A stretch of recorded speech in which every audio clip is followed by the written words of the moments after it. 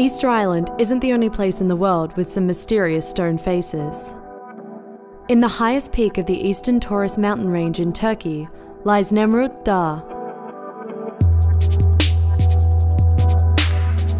Nemrut Dağ is a temple tomb believed to be built by the late Hellenistic king Antiochus. He reigned from 69 to 34 BC and built the temple to commemorate himself.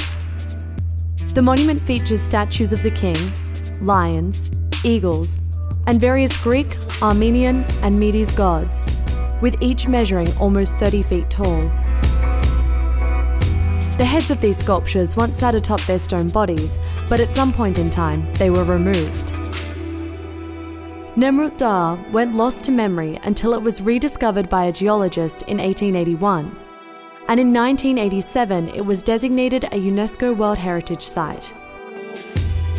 And while there are those that believe these figures hold a deep mythological significance, how these stone structures were physically constructed without modern tools is a mystery.